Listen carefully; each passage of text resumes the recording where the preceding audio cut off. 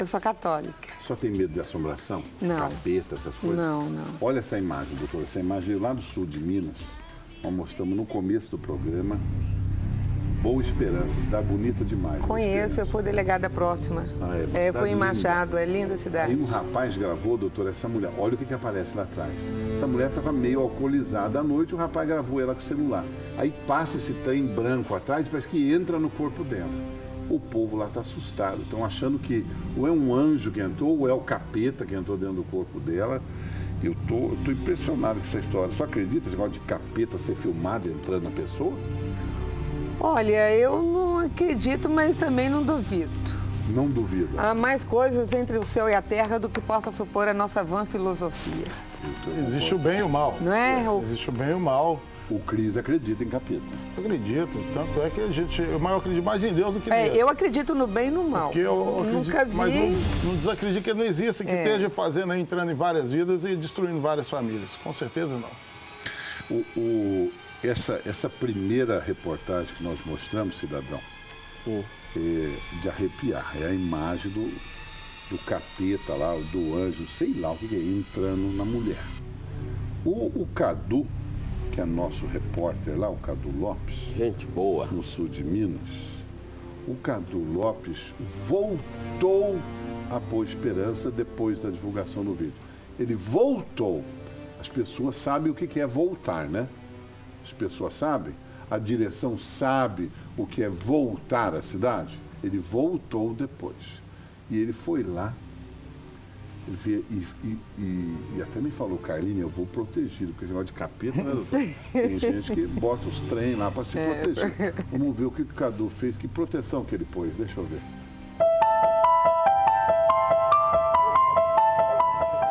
Cidade de Boa Esperança, uma das cidades sul-mineiras mais bonitas e detentora de um dos lagos mais belíssimos do Brasil. Chegou para a gente na TV Alterosa uma denúncia de um morador que teria feito um vídeo, um vídeo à noite, e neste vídeo o capeta ou uma forma sobrenatural teria aparecido. Eu já estou preparado. Tô com meu alho. Tô aqui com meu terço. Aqui, minhas contas. Estou pronto para investigar esse caso e tentar descobrir e chegar a fundo para saber se isso realmente aconteceu. Eu ainda não vi o vídeo. Ainda não sei do que se trata. Falaram que aparece um ser sobrenatural. E nós vamos trazer para você aí de casa com exclusividade na TV Alterosa essa história macabra nessa cidade paradisíaca. Cidadão, o homem pendurou a alha, amarrou as fitinhas, pegou o terço. O Cadu é medroso, né, cara? Ele é o medroso. Cadu é medroso, é. Não aguenta assombração. Não, ele tem um pavor de assombração. Olha, se você fala que tem assombração aqui, o Cadu passa do outro lado, mesmo assim, correndo. E assim, ó, cheio de alho, terço, ele deve ter um bocadinho de água benta ali e tal. O Cadu é medroso, mas essa história a gente precisa de ir mais a fundo, né? Inclusive, uma coisa que eu percebi ali naquela, naquela imagem, a hora que ele tá passando ali, que ele começa a falar, Passou o capeta atrás do Cadu? não, você observou que as ondas ali, aquelas marolinhas ali, A olha, água observe as ondas. as ondas. A água A balançou que e balançou falando, bem. Mas isso não é peixe pulando, não? Não, não tem marca de peixe ali não, Carlinhos. Observe. Um pouquinho mais pra frente, logo no final, a hora que chegar, na- você vai observar que a, a lagoa tá quietinha, tá? O lago tá quietinho. Observe que ele vai começar a Você acha balançar. que pode ter um capeta mergulhado ali acompanhando a... Ao- não A sei- gravação? Eu não sei se existe capeta anfíbio, né? Mas pelo menos vai, balançou ali, balançou. É, mas ele está bem paramentado. Não tá, Não doutora? está? A senhora, para dar tiro, porrada de bomba, tem que pendurar a alha? Não, não, coisas? não preciso nada disso. É só sentar o dedo mesmo. Só a minha amiga 45 resolve. Meu Deus Eu- do céu. Eu, eu acho que ali faltou duas coisas que ele falou. Primeiro, ele não falou de Deus. Não falou? Não mas falou, em momento nenhum. E outra coisa, faltou a Bíblia, né? Faltou a Bíblia? Faltou a Bíblia, a grande Tá com a cruz, né? Tá com a Bíblia cruz mata capeta. direita. A Bíblia é a grande arma que tem, a grande arma que a maior arma que tem, até essa que a pastora, a pastora, que a que eu- delegada tá. O que, que o povo falou lá? O Cadu conversou com o povo na rua lá, né? Deixa eu ver o que o povo falou. Você tava fazendo piada. Frouxo. Frouxo. Eu tô do lado dela. Olha lá, você viu? ó? Ó, você viu? Tá vendo o negócio aqui? O que, que vocês acharam desse vídeo aí? Pô, mas isso aí é, é coisa sobrenatural mesmo. Isso aí Dá um medo, não dá não? dá, dá medo. Dá pra assustar bem aqui, né? Dá, ué. Ah, fica meio, meio, meio tapaiado, né? É, né? Nossa, é muito linda. Olha lá. Viu? O que, que você achou disso? Parecendo um lobisomem. Um olho. Tá parecendo o quê? Um lobisomem. A coisa tá meio sinistra aqui em, em Boa Esperança. E a gente vai continuar perguntando pro povo o que, que eles estão achando desse vídeo aqui, que é um vídeo macabro, né? Foi aqui? Ai, credo. Foi aqui em Boa Esperança. Tá com medo? Não, já não tem lobisomem. Depois. Ah, Geraldo, você O senhor consegue ver aqui? O que, que o senhor acha disso? Olha só, é, realmente é, é algo que muitas pessoas não acreditam, mas realmente existe. É, pode ser um dos adeptos de Satanás, né? Entrando no corpo dela. Porque ela, ela direto pra ela, né? Possuída. Tá possuída aqui, não parece? Tá possuída? Ela está. Povo aqui no Twitter, a Caroline, falou assim, avisa o Cadu que alha é pra vampiro, não é pra capeta, né?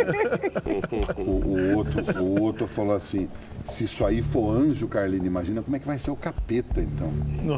Pelo amor de Deus. Não, e, e a mulher é, foi muito interessante ali, que ela foi descobrir que a cidade, que a cidade. Acordou no meio da entrevista, viu? Tem gente que dorme até na entrevista. Acordou no meio da entrevista. O que foi, meu diretor? O Cadu localizou a pessoa que gravou o vídeo do capeta. Ele, ele conseguiu localizar essa pessoa? É um jovem lá de Boa Esperança? Eu quero ouvir. Ô, Rander, me fala uma coisa. Foi você que fez o vídeo? Sim, foi eu. Naquela hora lá você viu alguma coisa? Não, nada. Onde é que você percebeu que tinha algo estranho no vídeo? Assim que eu cheguei em casa, fui ver o vídeo. Aí voltei o vídeo e falei assim, peraí, tem alguma coisa estranha. Aí voltei o vídeo umas três vezes, não apareceu nada. Aí quando apare- deu os três minutos e alguma coisa, apareceu. Eu falei assim, pera que tem alguma coisa errada. O que, que você acha que tinha no vídeo? O que, que você, não sei se você é religioso, alguma coisa, o que, que você acha que tava ali? Então, eu sou espírita. Aí meu amigo também é, levaram no centro, perguntaram o que que era. Aí toda vez que perguntaram o que era, falou que era um espírito, que toda vez que ela bebe, acompanha ela. É difícil. Eu tô todo arrepiado aqui. Você aí de casa ainda não viu o vídeo, mas eu acabei, eu vi agora há pouco. E realmente dá medo, né? Dá medo.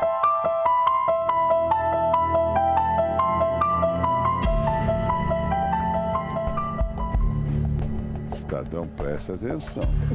O Cadu falou que o rapaz que gravou o vídeo deixou ele todo arrepiado. É. Você viu o Cadu falando. É sintomático. É É sintomático. o né? capeta operando? Parece que sim. Agora, o Cadu é tão medroso, mas o Cadu é tão medroso que ele fez a reportagem de dia. Ele não foi lá à noite. À noite não não é? aguenta, Ah, ele não dá conta, não. Não dá conta, não. Mas a gente vê que se ficou arrepiado, e você viu que ele mostrou, né? Mostrou os bracinhos assim, né? É, a pontinha lá, aqui. tá com o braço Tava. desnudo, doutora. Muito. Doutor, não é fácil, doutor. né? Não sei o que é pior, se é vagabundo ou assombração. É. O que você acha pior? Olha, eu vou ficar com o bandido que eu sei como resolver a assombração. Eu É deixo para os especialistas. Rapaz do A céu. senhora tem bala de prata aí, doutora? O que, que é? Bala de prata. Tem essa Pra história, né? É, Pra é, é pra vampiro, é. né? Mas vai é pra bala de assombração. prata. É, bala de prata, senão não morre. Mas dizem que a assombração só para quem aparece. É. Eu vou falar Ela pra não vai senhora, aparecer pra mim, Eu não. vou falar pra senhora. Apareceu pro Cadu lá. É. Porque essas coisas aparecem tudo na mão do Cadu, né? Parece. E, e ter assombração apareceu para um outro repórter também. Teve um repórter que foi fazer um jogo aí, de futebol. Jogo. Futebol é esse esporte violento aí, né? Teve um repórter que foi fazer uma entrevista. Eu queria que vocês me ajudassem, que eu não consegui identificar o que, que o jogador falou. Que isso? E o rep... eu acho que apareceu assombração no meio da entrevista. Vejam, acompanhem essa entrevista, vejam vocês o que o jogador falou para o repórter. E o que você acha que a, o que você acha que a equipe precisa é, fazer assim pro pro, pra, pro time? Muito obrigado, muito obrigado. Tá aí, portanto, o nosso querido Alex, né, na, na, na sua primeira participação, tá um tanto quanto é, nervoso, mas é assim. TV Botorantim, o canal que é 10. Daqui a pouquinho a Eu gente... vou, eu vou repetir para vocês. Prestem bem atenção. Você vê que o repórter é um menino, parece que ele está começando agora. Mas preste atenção nas perguntas e vejam o que o jogador responde. O que você acha que a, o que você acha que a equipe precisa é, fazer assim pro pro, pra, pro time? Muito obrigado. Muito obrigado. Pelo menos, doutora, foi educado e agradeceu. É, hein? Porque a gente tem o hábito de ver, o jogador tem dificuldade para se expressar. No começo de carreira. É, isso aí foi inverso, né? Foi o repórter, coitado. Foi, é o repórter. Ah, pra, pro Ah, time. ah, Muito obrigado. Muito O que tá fazendo aqui no campo? E o coitado do jogador tá... Número 2 é qual posição de jogador em número 2? Lateral direito, né? Lateral direito? É- é- essa entrevista foi esque- inesquecível para esse menino. Olha lá. O que, que foi? Está chegando notícia urgente de Portugal, é isso? Portugal lançou um novo equipamento, a Marinha Portuguesa lançou um novo equipamento. Vamos lá, direto com o Jornal de Portugal, vamos lá. E foi hoje apresentada uma nova tecnologia que vai estar ao em serviço da. Marinha já a partir do próximo ano. Trata-se de uma aeronave não tripulada com tecnologia totalmente nacional. Este é o novo avião não tripulado da Marinha Portuguesa que vai ajudar no mar e em terra nas missões em que a Armada está envolvida. O AR-4 foi apresentado oficialmente hoje, apesar de a estreia não ter corrido como previsto. Não é falhada. Isto justifica é que é sempre necessário Que, ju- que judiação. Um abraço, por... Eles não dão sorte. É, Mas vamos dizer, cabo, é como que não saiu previsto? Se falaram que a Armada, que está lá, que é a Marinha, que queria aeronave não tripulada. A aeronave foi naturalmente para dentro da água, irmão. Quero aproveitar então, hora pois, que você está a falar, mandar um abraço para o Evaristo, meu amigo, lá do restaurante Solar dos Presuntos, em Lisboa. Ele assiste o de verdade pela internet, no Solar Sim. dos Presuntos, lá em Lisboa. Um abraço, Evaristo. Um abraço para você. Pastor Gay também, Pastor Gay que está cá a dizer que Pastor o Pastor Gay? Gregory, Pastor Gay Gregory está O lá. pastor gay agora mora em Lisboa. Está em Lisboa. Ora, pois, Traz pois. os montes. E fica pedindo ingresso para César Menotti e Fabiano. O homem está em Lisboa, que é no, no, no jogo. Só para ver a delegada. Agora, doutora, seriedade agora. A senhora tira o porrada de bomba. Nós vamos mostrar agora um flagrante. Porque agora vagabundo anda de moto, né? O da garupa vem e senta o dedo, né? Então presta atenção nesse flagrante que nós recebemos. O rapaz está na garupa, na garupa, tem um outro sentado, é, acho que está na calçada, numa escadinha, ao telefone, passa a moto e tá, tá. E só. Analisa essa imagem, doutora, vamos ver.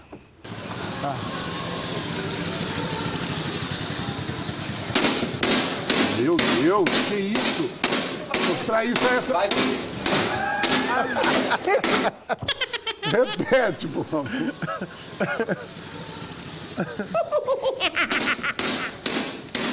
O que mais me impressiona era o rapaz aqui fazendo barulho aqui no cano, com o pet na mão, a garrafa pet na mão, o outro com o controle remoto de televisão na mão, lá, olha lá. Doutora, peraí, eu se é a mesma pergunta. Eu quero que a doutora me explique como é que barulho faz o cara deitar. Olha lá, ó, o cara tomou o tiro e caiu, ué. Olha lá, olha lá. Como é que cai, doutora, só com barulho? Ah, é o susto, né? O susto mata? Ué, naquele caso ali, ele morreu, ele assustou muito, né? Do cidadão. Ele achou que estava morto. É, tem, Tiro de muito- garrafa pet. tem muita gente que passa pelo outro lado, não é pelo tiro, É não é pela susto. facada, é é só pelo susto mesmo. É assim que o PT é de imediato, infarto Mas você sabe instantâneo e fulminante. Esses três são marmados. Não, ó, mas o, o problema maior é que o celular é tão viciante que o cara morrendo não tirou ele do ouvido. É? Agarrado, é. Aí, tô morrendo, hein? Levei uns tiros aqui, tô morrendo. Olha lá, ele não tira o celular do ouvido, olha lá. E ainda fala assim, não dá o primeiro letal não, que eu tinha que tirar uma foto e colocar no Facebook. É, não, selfie fazer, no Facebook. Vocês estão falando do negócio da banana aí, do- muita gente entrou nessa, junto com o Daniel Alves, né? Um apoio da o Neymar, né? Esse é o filho dele, esse aí que tá com banana de pijama aí? É o filho do Neymar? Já cresceu, hein, gente? É, tá Quem grande. mais que entrou na campanha? O pai do Neymar, esse eu conheço, é o pai do Neymar. É o Neymar Fader. Esse aí é a irmã, a irmã do Neymar. Quem mais que entrou na campanha? Todo mundo. Ó, o Fred, um abraço pra Tioff Lotone, deu uma banana pra todo mundo. Quem mais? Esse aí é o quê? O incrível Hulk? É o Luciano Huck. Ah, o Luciano Huck. Achei que era, não é verde, pô. Ah, e a, a Marta também, né? Campeã, melhor jogadora do mundo. Todo mundo aí. Manda... Isso aí é aquela cantora, né? Cláudia Leite ou não? Ivete Sangalo. Elas são tão parecidas, né? Isso é a Cláudia Leite. Leite com banana. Ó, Alexandre Dá Pires. vitamina, é. hein? Um abraço para Alexandre Pires, o povo todo do Triângulo. Dinho Ouro Preto também. Tem o Dinho Sabará, tem o Dinho, o Dinho, né? O Dinho Ouro Preto, o Dinho Ouro Branco, esse é o Dinho Ouro Esse é Preto. Ivete. Ivete Sangalo, essa aí é, é a cover da Fernanda Garcia. Um abraço para todo mundo aí. Eles, ah, Roberto Carlos, já, já jogaram banana para ele também, já foi vítima de racismo Foi, também, Roberto foi. Carlos. Rapaz, esse trem tá. Não sei como que. Nós temos que ter um manifesto muito além disso aí. É. Né, doutor? A senhora, como uma agente do direito também, sabe o tanto que, que hoje é penalizado o racismo. E mesmo isso não tem inibido as pessoas. Agora, É, a bem da verdade, né? Só complementando, doutor, a bem da verdade, o imbecil que jogou essa banana já está devidamente identificado e está banido dos estádios. Ou que tá seja, nunca mais. É nunca mais. Acabou. Fora, rua. Tá certíssimo, Certo. sou favorável, a lei tem que ser dura mesmo para esse bando de vagabundo. Esse é o clipe do De Volta ao Planeta dos Macacos, do Flauzino, dos meninos lá do J Quest, né? Bela peça, bela peça, um belo vídeo, então de parabéns. Volta o vídeo que nós abrimos, tá todo mundo pedindo para reexibir o vídeo que nós abrimos o programa, que é a doutora Roseli sentando o dedo, vamos ver.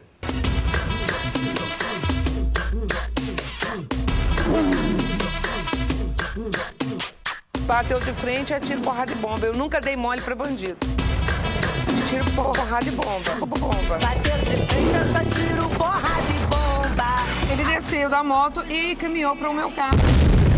Meteu a arma na minha cabeça, uma ponto .40, e anunciou assalto. Falou assim, larga o telefone agora, larga e desce do carro. Tiro porrada e bomba.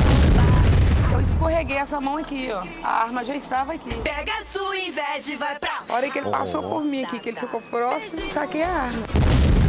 Bateu de frente, é tiro, porrada e bomba. Eu nunca dei mole pra bandido. tiro porrada e bomba. Não tenho que ter um estereótipo masculino. Então eu sempre usei roupa justa, nunca desci do salto com meu batom, mas sou delegada. Tiro, porrada e bomba. Bomba. Bateu de frente, eu só tiro porrada e bomba.